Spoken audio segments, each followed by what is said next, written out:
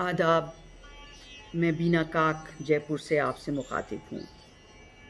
आज इस खूबसूरत मौसम में किश्वर नाहिद साहब की एक नज़म पेश है, चिड़िया और कोयल।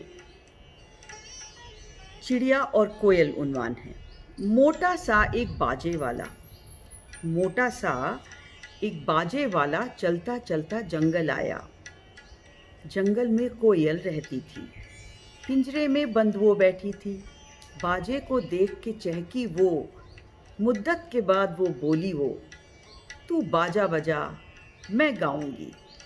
तू बाजा बजा, मैं गाऊँगी, नगमे में अच्छे सुनाऊँगी। कोयल ने यूँ गाना गाया, बाजे वाला भी मस्त हुआ। थी पास ही एक चिड़िया बैठी। गाना सुन के वो कहने लगी, कोयल भी तुमको आता है कितना अच्छा गाना गाना। आवाज़ तुम्हारी प्यारी है, सारी दुनिया से न्यारी है। तुम खुद ही गीत बनाती हो, तुम खुद ही अच्छा गाती हो। तुम क्यों इस बाजे वाले को कहती हो साज बजाने को?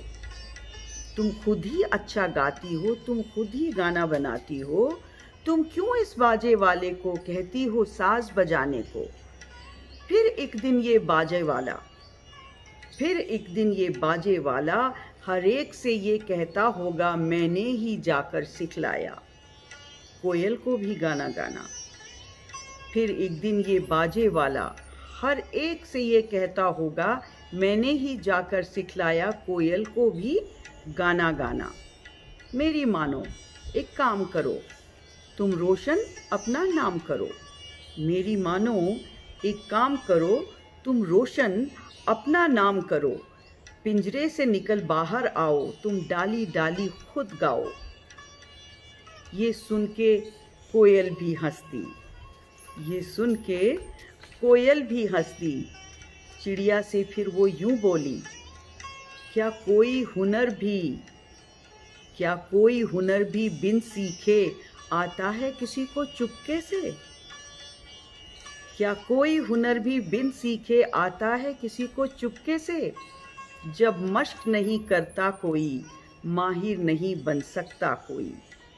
जिसने किया अपने फ़न को याद, आखिर वही कहलाया उस्ताद। तो ये है किश्वर नाहिद साहब की कोयल और चिड़िया। बहुत शुक्रिया।